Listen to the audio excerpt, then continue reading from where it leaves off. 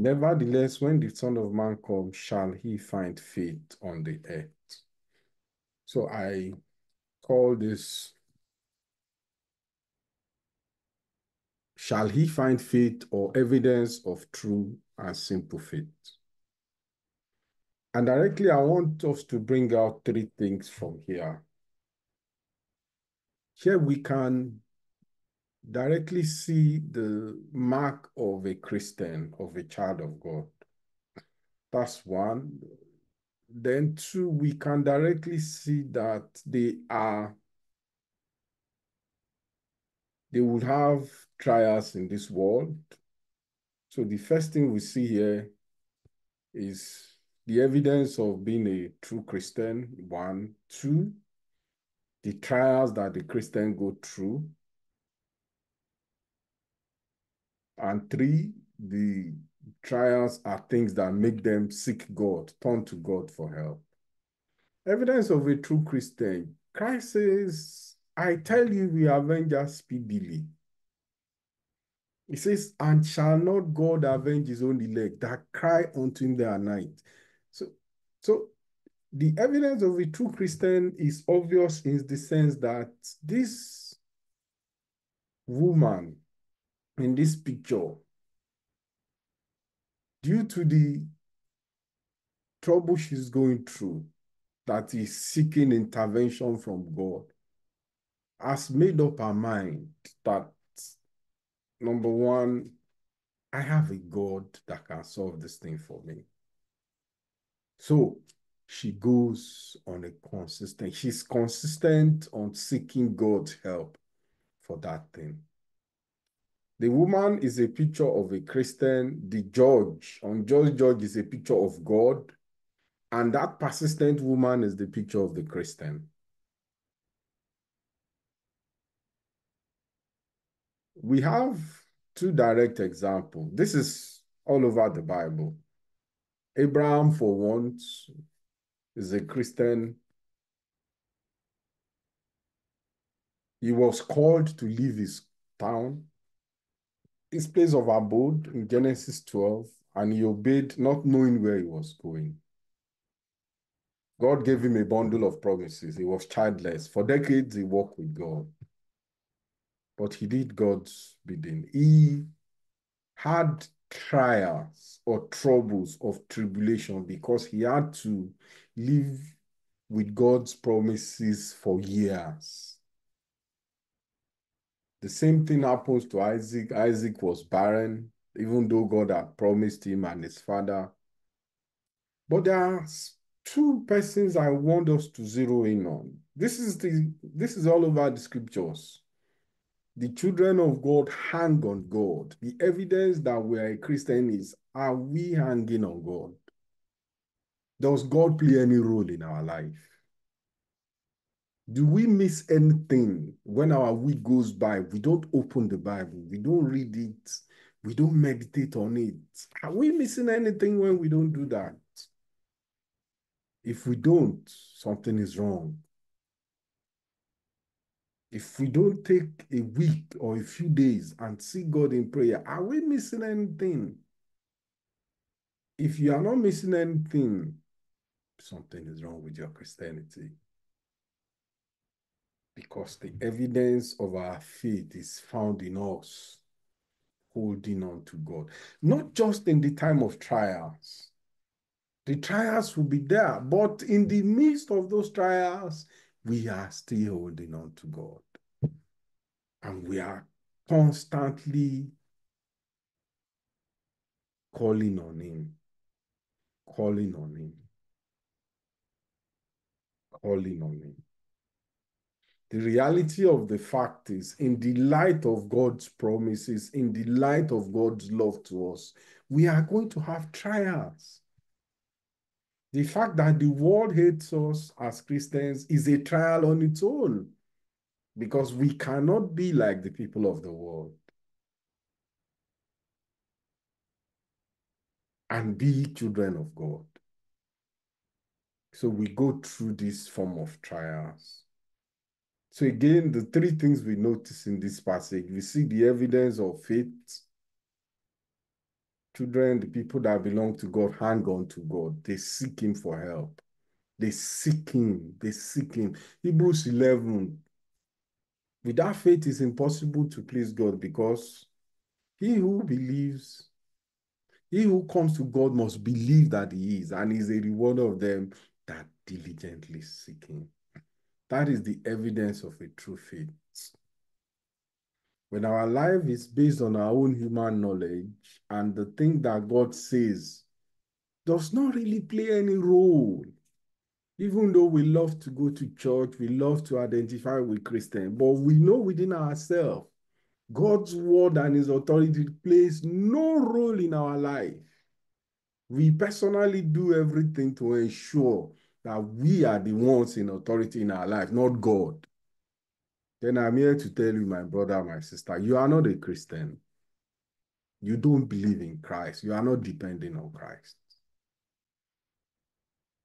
If he comes today, he will tell you, you know, I don't know you. Let's forget the pretense. You don't belong to me. We all know. But we can change that today by calling on him. That's where, that's why we hear the word of God.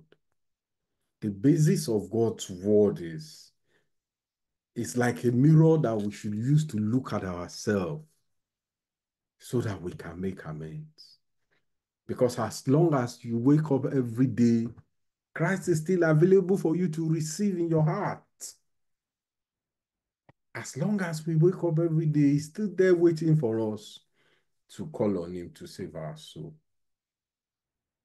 Let's look at two examples and we'll see a better picture of these three things. The evidence of a true Christian, the trials they go through, and how they might navigate their trials to seek God. An example is Anna in First Samuel, the mother of Samuel. It amazes me about this woman's faith. And I encourage us to read her story.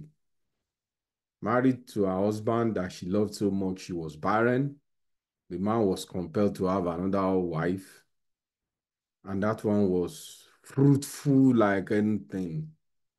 And she went through so many trials because of her childlessness. Under the Old Testament, from the example of Sarah and Rachel, Jacob, Sarah, let's first of all, let's stop with Sarah. Sarah was barren for years, convinced Abraham in Genesis 16 to take him a servant as a surrogate. That is biblical. That is culturally legal for them. But Anna never took that option. She chose to go every opportunity to the house of God to pray. In the Jewish culture, they went every year to Jerusalem and she went to Shiloh, the house of God, to pray. It was obvious she was known there because Eli the prophet noticed her again and again.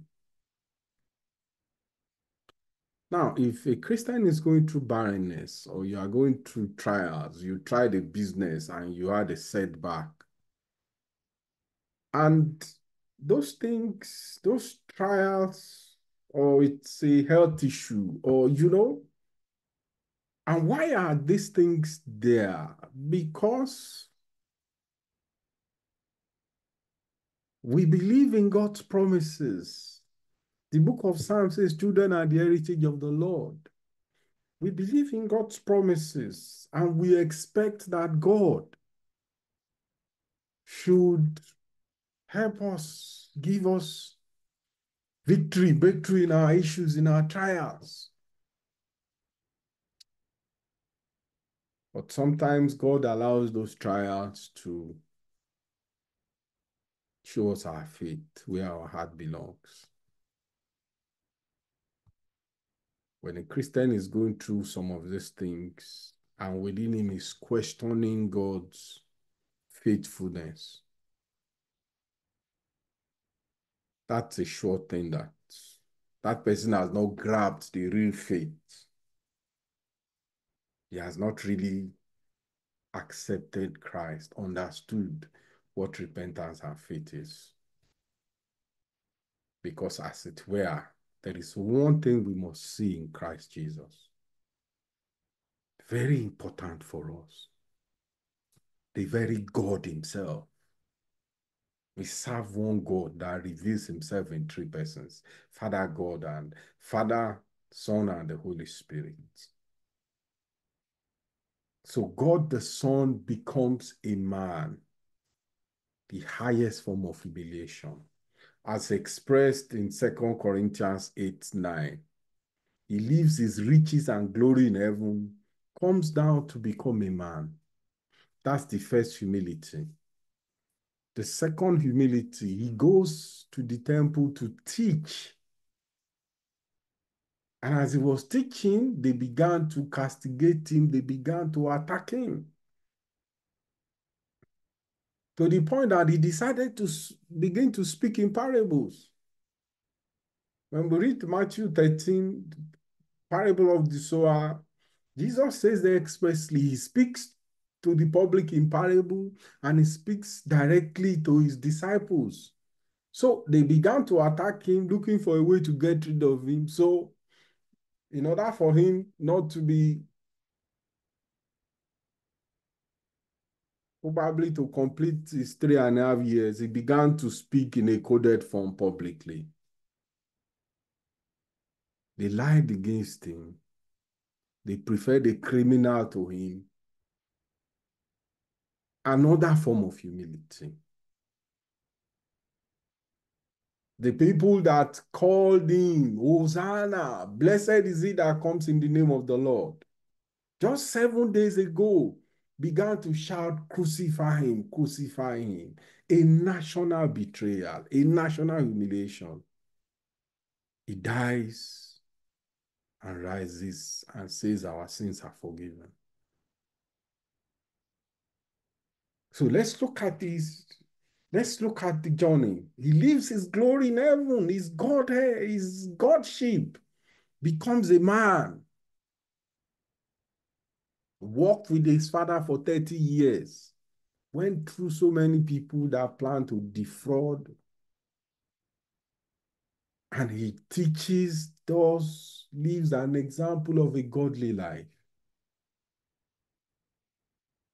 Dies for our own sins. Christ lived a sinless life, completely sinless life. The Bible says God made him to be sin who knew no sin. I want us to understand again Christ did not commit any sin. He was made sin in a form of substitution, just like we did not do anything good. Christ physically did not commit any sin. Anybody that says Christ committed any sin should open the scriptures and tell you where it is recorded that he did. The whole, every account of his life showed he lived a righteous life. But he is substitutionally declared to be sinful in a substitutionary way. He himself did not commit any sin.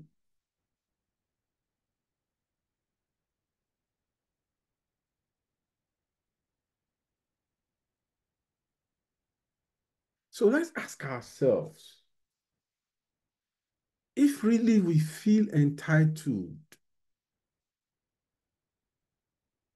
what glory have we left for God? What are the things we have left for God? Christ left his glory in heaven to become a man. What are the things we have left for God? He died a painful death. Which pain have we gone through for God? Now let's ask again. God the Father seeing God the Son going through all this. How do you think he feels?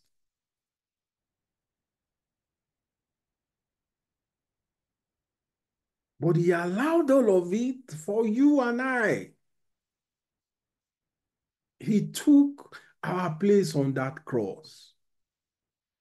And the only place we can prove our faith in him is when we understand that my barrenness, my sickness, my financial challenge, it might be to feed my family. I must not see God as unfaithful. Those things are not signs that I should look at and say, God is unfaithful in this area. Why is it happening to me? Another reason why those things are heavy trials to us, we have been erroneously educated.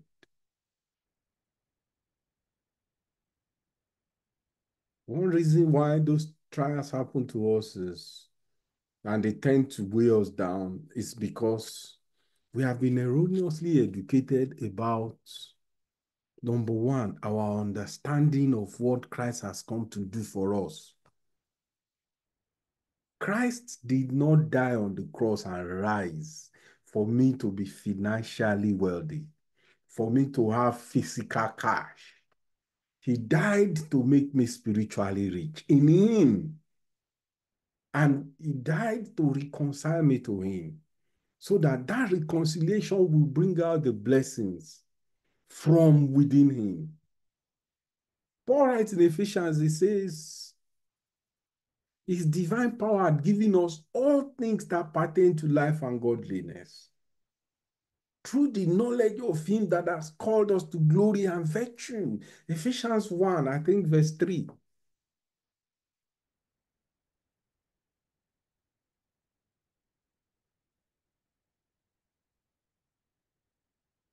Excuse me, I think it's First Peter. I'm not so sure now. But that's what the Bible says. We have all things that pertain to life and godliness through the knowledge of Him that has called us to glory and virtue. The same thing Paul says in um, um, First Corinthians all things are yours because you belong to Christ. Christ sees us right now in Himself, but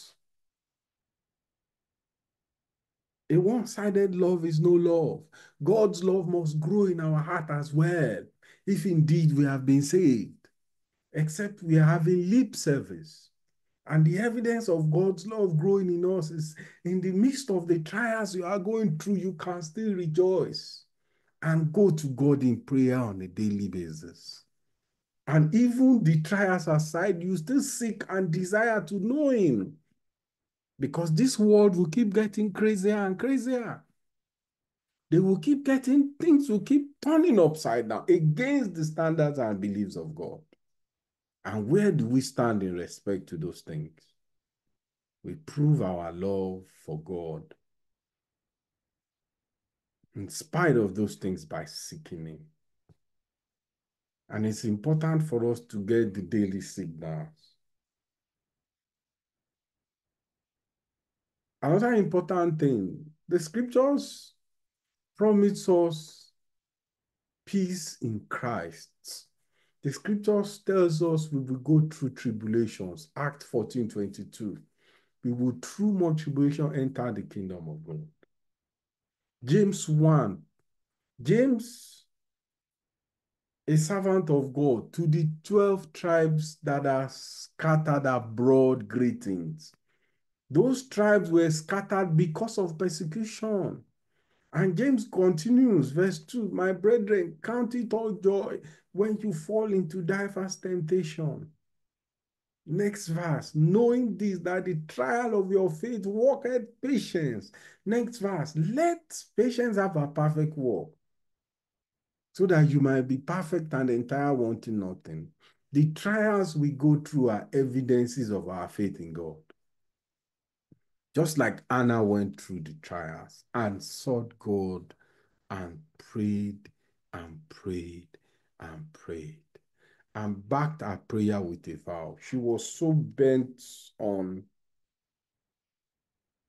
giving God's glory. I'm sure she must have been pleading the psalm that says, Children are the heritage of the Lord. I believe, I wouldn't say I'm sure, I believe she must have been pleading the scriptures on a consistent basis until God, by His Spirit, sent a prophet of God to give her a word of confirmation. May God grant you the prayers of your heart. I find Anna so interesting. She was, I don't know, maybe Eli said, Take away your drink. Somebody saw her praying and said, Why are you drinking? Why? Why do you have the habit of drinking and coming to the house of God? She said, hmm, I'm not, I'm not drunk. I'm pouring my heart out before God. I guess she must have been mumbling some things. She was so hell bent on getting an answer from God that nothing else disturbed her. This is exactly the faith. That's exactly this woman. Because the picture is she's so persistent. She's so persistent. Our persistence, and somebody will say, when you pray for something once, more than once, you have no faith. That's a big lie. We need a lot of understanding and wisdom in God's word. There's something in our, par- in our passage that seems like a paradox. There is, there is nothing paradoxical about God's word.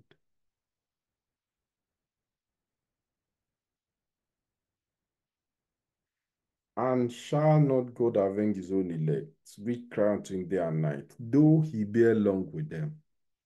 So this verse 7 says, Will not God, will God not answer those that call on him day and night, even though it seems to delay? Verse 7, I tell you, we will avenge them speedily. Verse 8. So verse 7 says, even though God delays, won't he avenge, won't he answer their prayer? Verse 8, I tell you, will do it speedily.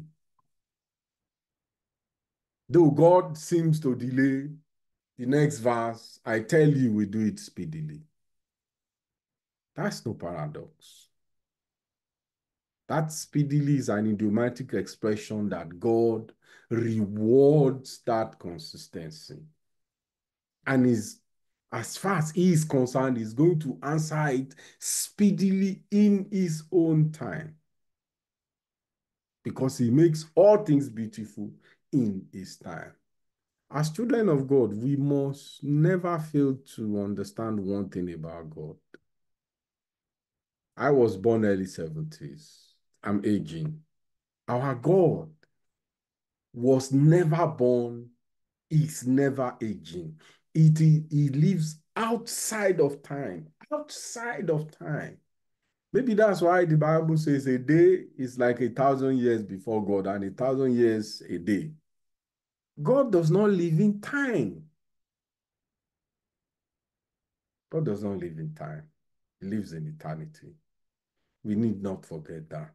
That's number one. Number two, God sees. Almost 6 billion people on earth. God's attention is on each and every one of his children calling on him. It's not as if God has angels that attends to his children. He himself sees millions of billions of times because he's a spirit, he's not a physical being. He's not limited by time and space. And the interesting thing about Anna that proves her faith in God is her son, my first son, became the greatest prophet in Israel. Samuel became one of the greatest prophets in Israel. This is how faith plus barrenness leads to Samuel doing something spectacular for God. We too can do something spectacular on God's calendar of things when we understand that it is needful for us to seek Him in our life. Let those trials, whatever it is, be reasons for us to seek God. Let us understand that God has been good to us up till now, and it will continue to be good. Let us also understand that as Christians, this world is not our home.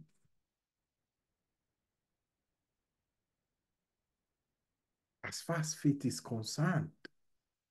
So when the people of the world are cherishing the things of this world and use them as a yardstick to glorify God, when a church goer praises God because his account is fat,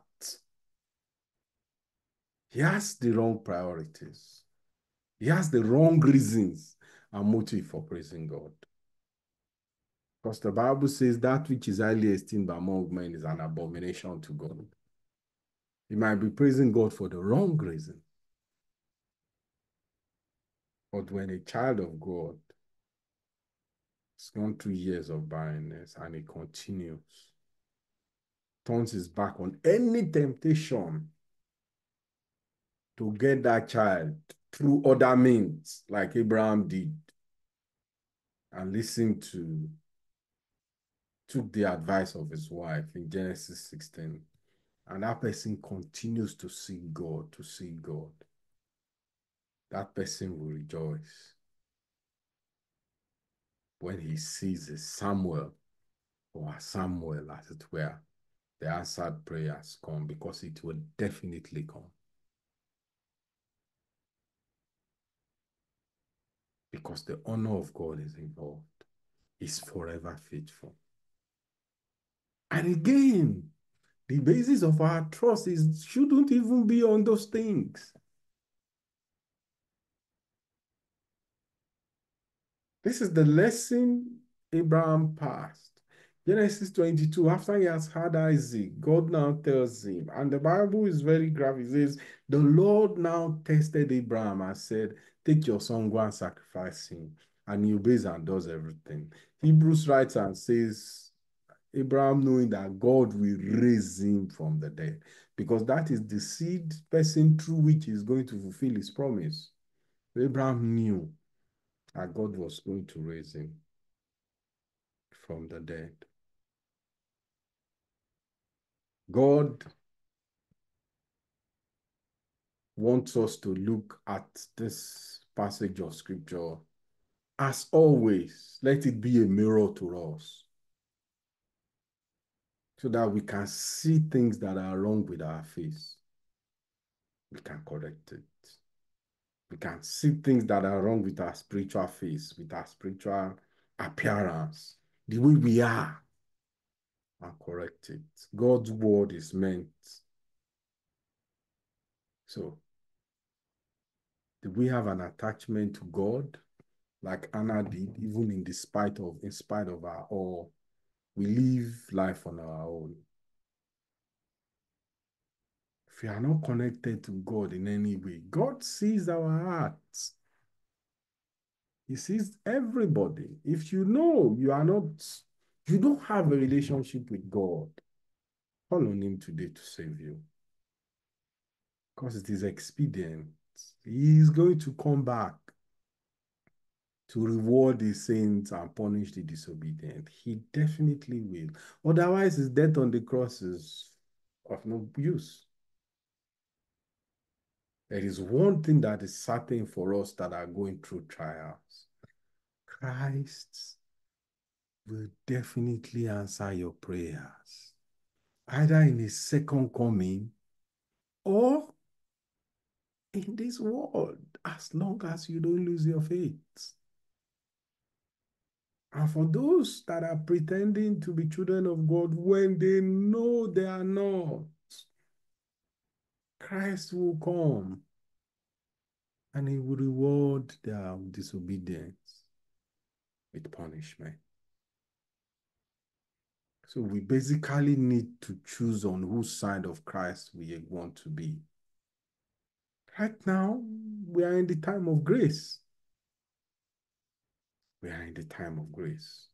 So the call to repent is a daily thing.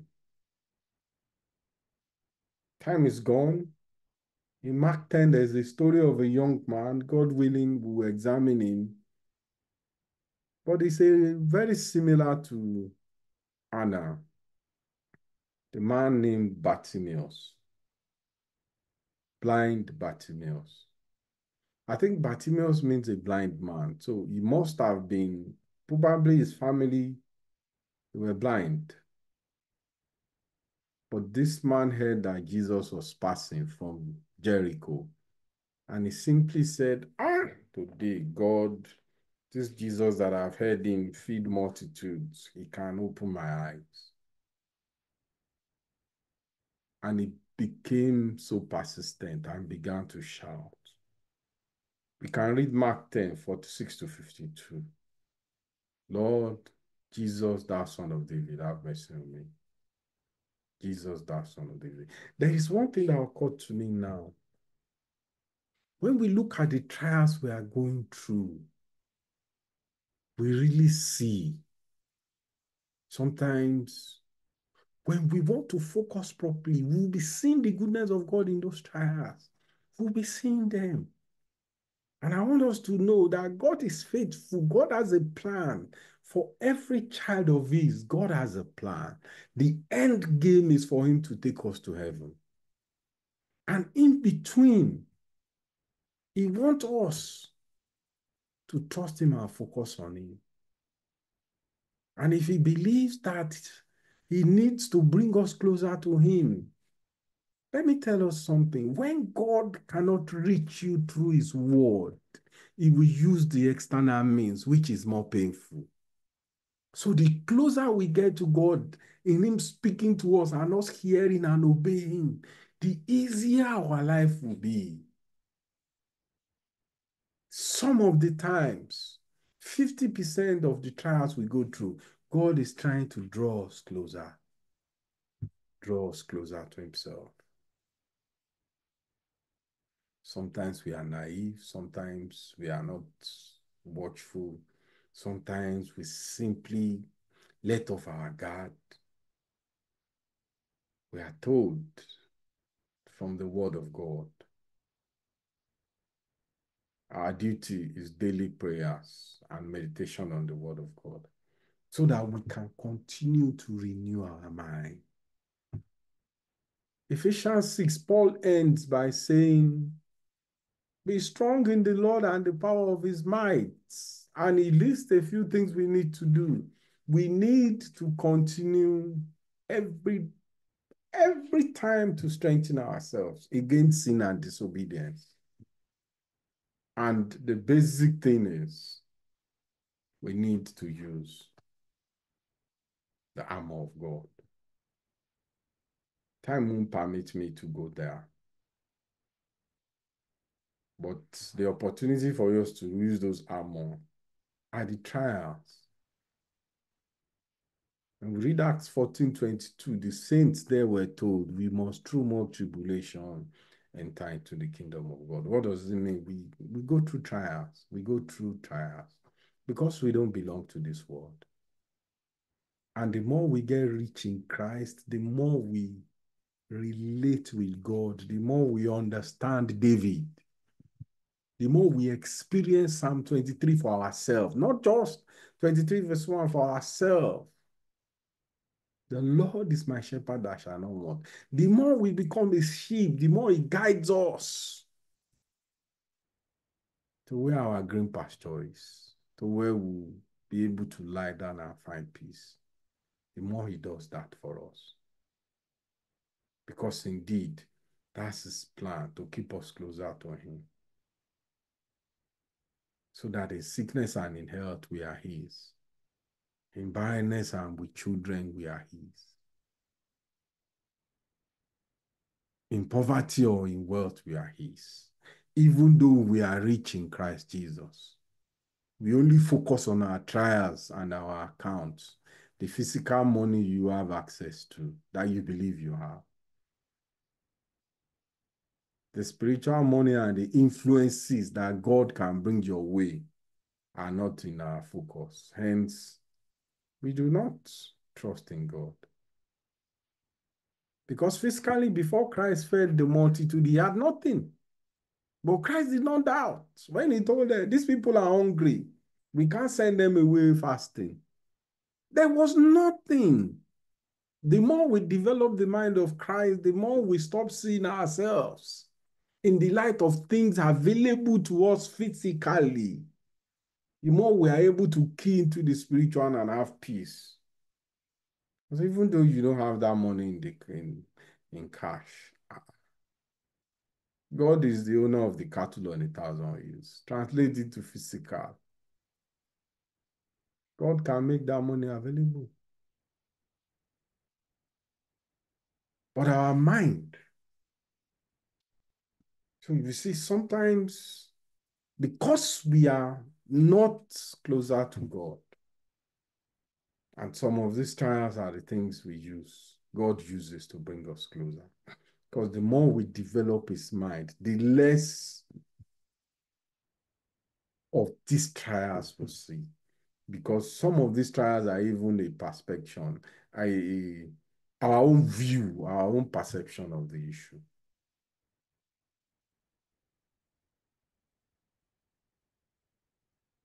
The evidence of faith is holding on to God, seeking God